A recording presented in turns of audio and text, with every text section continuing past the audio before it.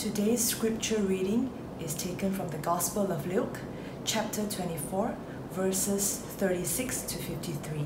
Let's read all together. While they were still talking about this, Jesus himself stood among them and said to them, Peace be with you. They were startled and frightened, thinking they saw a ghost. He said to them, Why are you troubled? And why do doubt rise in your minds? Look at my hands and my feet. It is I myself. Touch me and see. A ghost does not have flesh and bones, as you see I have. When he had said this, he showed them his hands and feet. And while they still did not believe it because of joy and amazement, he asked them, Do you have anything here to eat? They gave him a piece of broiled fish, and he took it and ate it in their presence. He said to them, This is what I told you while I was still with you. Everything must be fulfilled that is written about me in the law of Moses, the prophets, and the Psalms. Then he opened their minds so that they could understand the scriptures. He told them, This is what is written the Messiah will suffer and rise from the dead on the third day, and repentance for the forgiveness of sins will be preached in his name to all nations, beginning at Jerusalem. You are witness of these things. I am going to send you what my Father has promised, but stay in the city until you have been clothed with power from on high. When he had led them out to the vicinity of Bethany, he lifted up his hands and blessed them. While he was blessing them, he left them and was taken up into heaven. Then they worshipped him and returned to Jerusalem with great joy, and stayed continually at the temple, praising God. This is the word of the Lord. Thanks be to God. Good morning. Let us come before the Lord in prayer this morning. Lord, we want to thank you, Lord, that we can come to your word. And Lord, even as we study your word, may you grant us your understanding. In Jesus' name. Amen. Dear friends, the uh, message today is entitled There Are No Shortcuts to Understand Scripture. Scripture reading was brought to us just now from Luke chapter 24, verses 36 to 53. We live in a world where we have shortcuts, even on our mobile phone. Uh, we have a function that is called shortcuts. Let me just play a short quiz with you this morning, uh, like an introduction. I'll be asking you four questions, and you have to respond for each question. Number one means you strongly disagree. Number two means you disagree. Number three means you're not sure. Number four means you agree. And number five means you strongly agree. Let's see how you do. First question The happiest ones in pastor's home when the MCO kept on being extended our pastor's mother and pastor's pet dog. Right. What is your response? Let's see by a show of hands. Second question. Pastor is waiting for the barber shop to be open so that he can go and get his hair cut. What's your response from 1 to 5? Third question. The Bible should be read in larger chunks to get an overall grasp of the context, but also in smaller segments so as to study God's Word and study the phrases, but more importantly, to ask God to help us to apply the truth for our daily living. Again, what is your response? One means strongly disagree, and five means strongly agree. The last question is this When we say that we have no time to read the Bible, even during MCO, what we are really telling God is that reading and studying the Bible is of very low priority in my life. Again, what is your response? Now, to me, all the questions, the responses should be five that I strongly agree. Background is also important uh, in the proclamation of God's word, particularly as we look at this passage that is a post resurrection passage.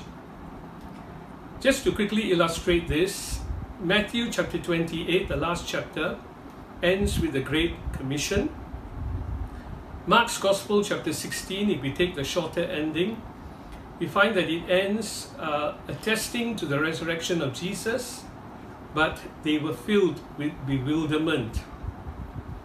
And in John's Gospel, if we look at chapters 20 and 21, we find that Jesus appears to his disciples behind locked doors, and finally, Jesus appears to his disciples by the Sea of Galilee.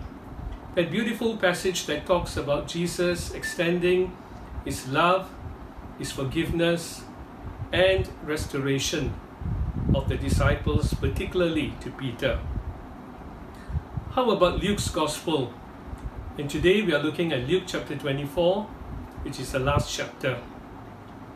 We find very quickly that the women were the first witnesses to the resurrection of Jesus. They came running back to tell the apostles. Peter hurries back to the empty tomb, only to find it empty and to see the linen there. But Peter did not see uh, the two angels. Then we also find that uh, a peculiar story to Luke's Gospel, uh, only recorded here, where there were two disciples walking on the road to Emmaus, and suddenly uh, Jesus uh, appears to them, walks beside them, and Jesus is not recognized by them. But Jesus intently listens to what is upon their heart, and that is very pastoral. And we should also follow the example of Jesus to listen to other people and see what is upon their heart. Jesus accepts the invitation to stay on uh, for the evening as it was uh, getting later. And then we find that Jesus actually breaks the bread. And at that moment, the two disciples recognize Jesus for who he is. And then Jesus vanishes from the scene. But they were so excited that they went all the way back to Jerusalem and they met up with the other disciples and they started to bear witness that they have indeed encountered the risen Savior. The focus for today is this Jesus is patiently opening the minds of his first disciples to Scripture. And thus, we, his disciples today, should stop making excuses to read and study God's Word God is patiently waiting to teach us. Let us say yes to Him. Let me repeat. Jesus patiently opened the minds of His first disciples to the Scriptures.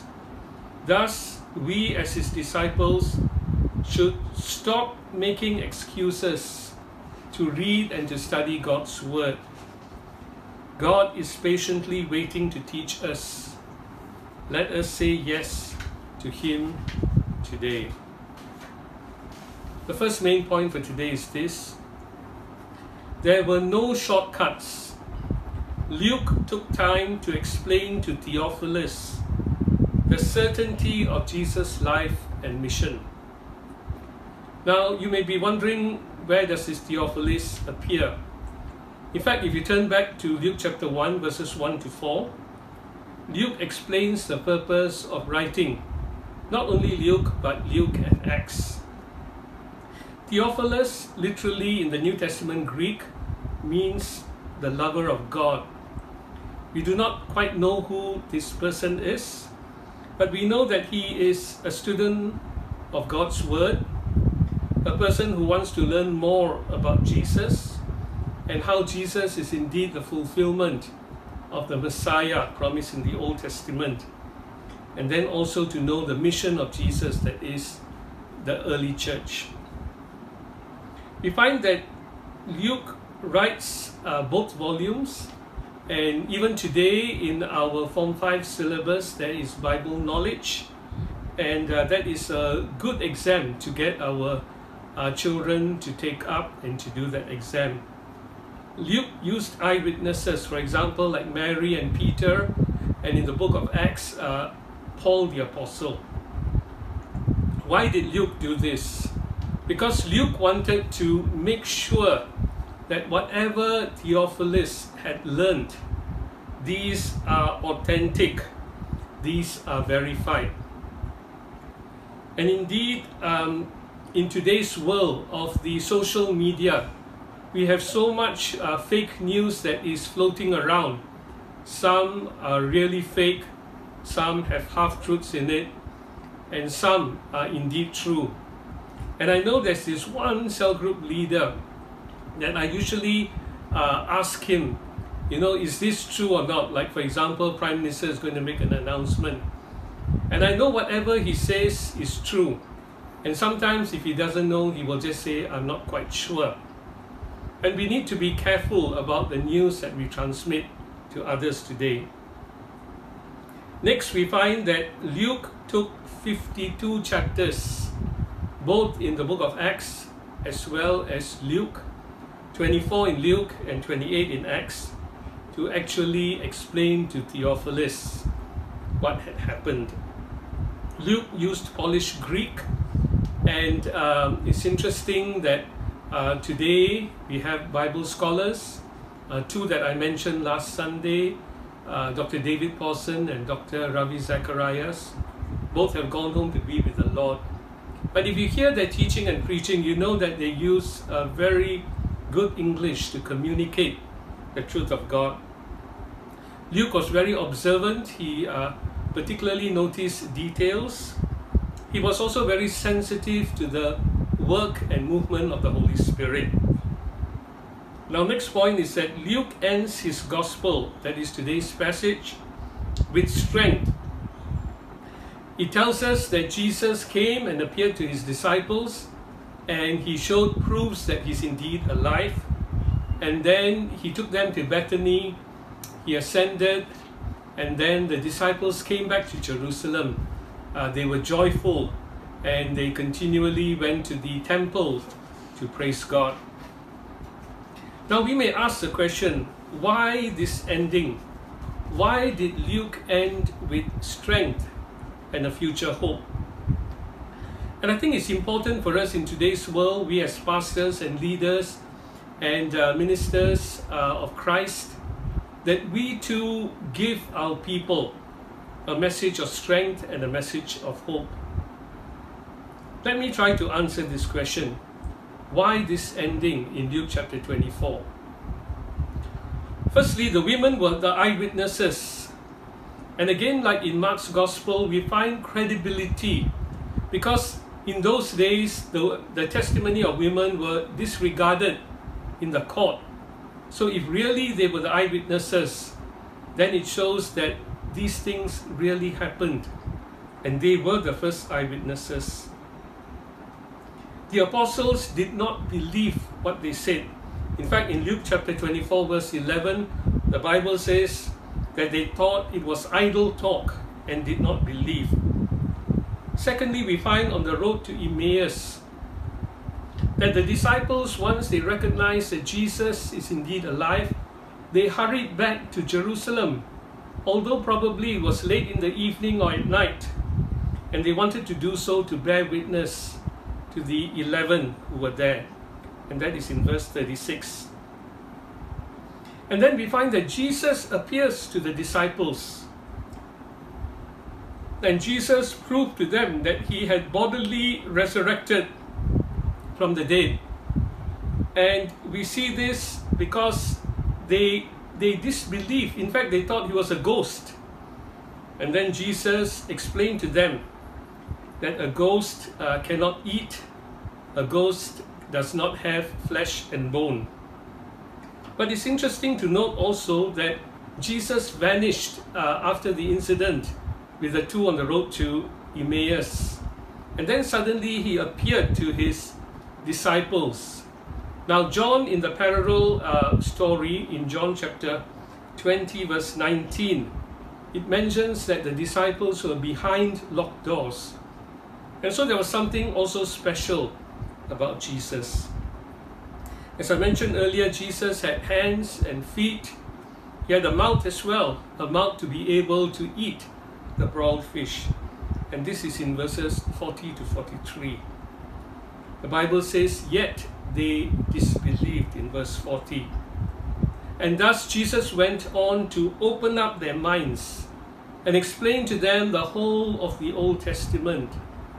Now it's interesting that Luke mentions three major sections of the Old Testament the Law of Moses, the first five books, as we call the Pentateuch, the prophets, and the Psalms.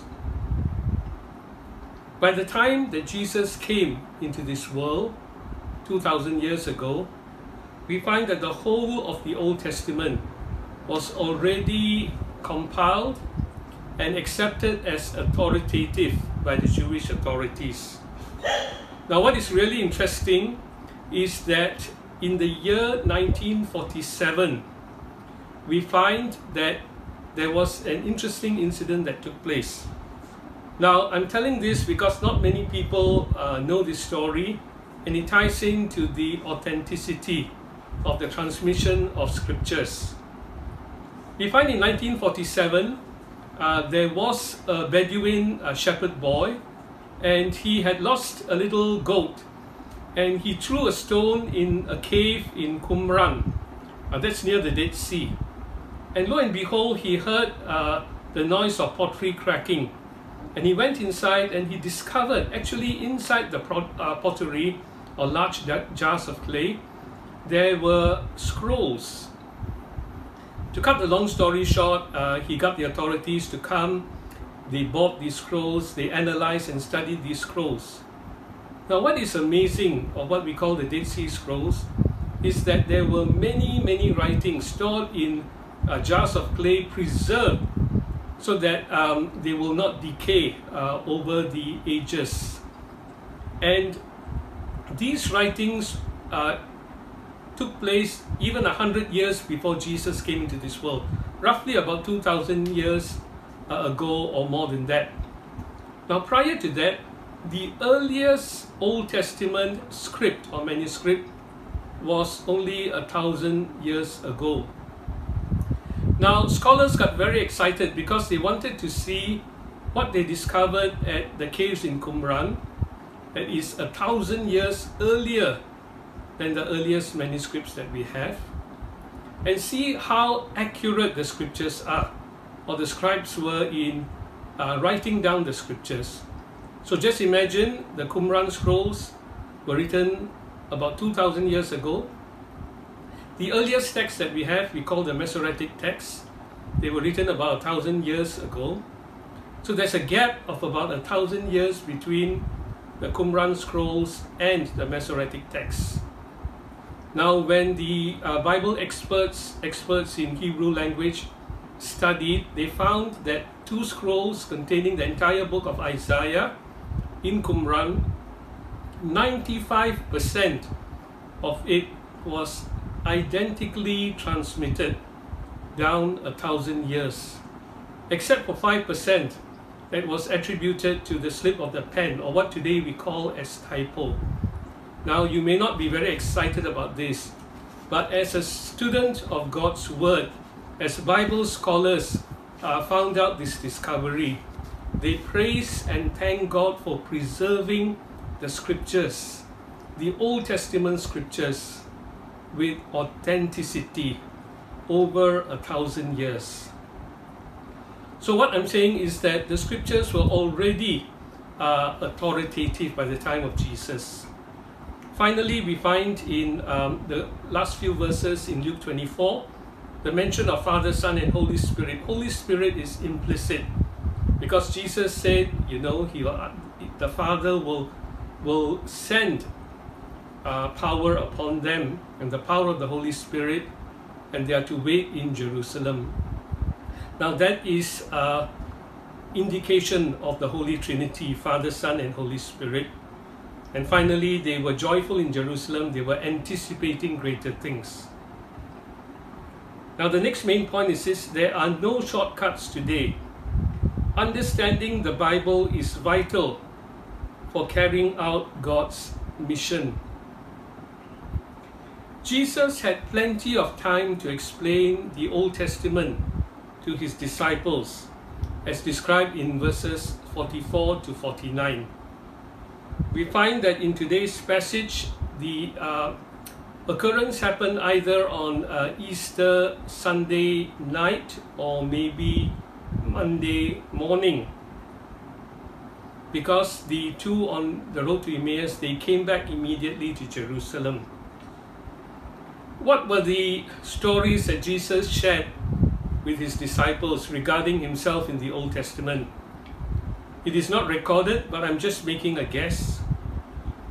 He probably could have shared about um, Genesis chapter 3, where God uh, curses uh, the woman, curses the serpent, curses the ground, and, the, and God gives hope to us because he said that there will be enmity between the offspring of the serpent and the offspring of the woman, and he will crush your head, and you will strike his heel. And we know that this indeed is a prophecy that Jesus died on the cross, but the ultimate victory belonged to Jesus. Then Jesus could have also spoken of Genesis 12, uh, God's blessing to Abraham that he'll bless all the nations of the earth. Genesis 22, when Abraham took his son Isaac to Mount Moriah and offered a sacrifice, and finally God provided the ram. And Dr. David Pawson, who passed away recently, he mentions that the ram is actually a one year old sheep, not a little gentle ram. And Isaac was probably about 30 years old not a teenager. And even till today, the Jewish people understand that Isaac was actually a young adult or young man. So Isaac uh, willingly went on the altar of sacrifice. Maybe Jesus talked about Genesis, uh, Psalm chapter 2, the Psalm of coronation, or Psalm 22, My God, my God, why have you forsaken me? Or definitely he would have talked about Isaiah chapter 53, the fourth servant song. And that servant actually is Jesus Christ himself and his death on the cross. Today was definitely not the last day of Jesus on earth, according to that passage. Why? Because we know in Matthew chapter 28, Jesus went to Galilee. In Acts chapter 1, verse 3, the Bible tells us that Jesus spent 40 days before he ascended to heaven. And in 1 Corinthians chapter 15 verse 6, that Jesus appeared to 500 brethren at one time. Let's conclude with some practical application for today. Our church theme, which some of us may have already forgotten, is to discipline ourselves so as to disciple others reading and studying God's Word is definitely spiritual discipline. I wonder how many of us say MCO is boring. Put up your hands. Now, praise the Lord that God has given us MCO. Now, do you know it's about 90 days since MCO first started? I believe that during this time of MCO CMCO, we have more than ample time to spend in prayer and the study of God's Word. Secondly, we find that our cell groups and discipleship groups, our ABC classes that continue on, and any online class offered through the internet, they all must have the element of studying God's Word. And secondly, applying God's word in our lives. Remember that Jesus spent three years with his disciples. Jesus taught them. He taught them through parables and other means. But Jesus also gave them on the job training. Thirdly, I want to talk a little bit about the Bible quiz that I have already done and am still doing. Now, as I was studying the Bible more, I realized that the blessing needs to be passed on to others. And so I remember last year when I was on holiday, I bought this Bible. It was very cheap, it's probably about five or six ringgit. Uh, it's paperback. But you know, it also encouraged and motivated me to actually uh, underline important words in the scripture, uh, to circle words. And uh, in Mark's Gospel, nearly all the pages have circles and underline because these are important truths of God's Word. Now, after doing all this, I felt it's good to actually do a Bible quiz. It is simple, it is only to answer true or false. But you know I'm a little bit tricky, so the questions may not be so straightforward. And so I devised uh, two Bible quizzes, each for each section. Quiz A and Quiz B is uh, based on Mark's Gospel, chapters 1 to 5. Quiz C and Quiz D, Mark's chapter 6 to 10. And Quiz E and Quiz F, uh, Mark's chapter 11 to 16. Now, I have yet to complete uh, doing uh, quiz D, E, and F. But I want to encourage you, uh, particularly if you are leaders of the church, uh, please get in touch with me for quiz A, B, and C. And if you need to know more details, whether you're a member or leader, please WhatsApp me directly. My last point for today is this that we need to be a role model to our children. Now, as we know, monkey see, monkey do. Whatever we as parents are passionate about, highly likely our children, when they grow up, they will also be passionate in those areas. For example, in the secular world, we may be passionate about sports, for example, and our children will pick it up. My dad was so interested in sports, and today I am interested in sports as well. And so, my dear friends, if we are really passionate about God's Word and we desire to study God's Word more and talk about it in our family, we do the Bible story readings with our children when they are young. We help them understand the scriptures by answering their questions or by studying the scriptures together. We don't have to publicize very much, but our children will indeed pick it up that we are passionate for God's Word. And when they grow up, they would also desire to study God's Word more and more. My dear friends, I notice that our children, as they grow up, some of them are so fascinated with many, many things but I wonder how many of them are really fascinated and captivated by God's Word. I thank the Lord that even for this Bible quiz, there are some parents that say that their children also want to do the quiz, sometimes on their own, sometimes together with their parents. And all this is greatly to be encouraged. Let us come before the Lord today. Lord, we want to thank you again, Lord. Thank you, Lord, that there are no shortcuts to understanding your word. If it involves hard work, then so be it, Lord. Lord, we do not want to be like the man who just opened the Bible and pointed to verses and used those verses to direct his life. But in the end of the day, Lord, uh, hardly anything happened to him. Today, Lord, as we come to your table, as we enjoy the meal that you have set before us, we continue to pray, Lord, that you speak into our hearts. Lord, even as we eat the bread and drink of the cup, Lord, may we remember, Lord Jesus, that you have given us a mission, a mission to live our lives holy and pleasing unto you, and to spread the good news of Jesus Christ, to be witnesses for you. and to make disciples of other people. We thank you and praise you in Jesus' name.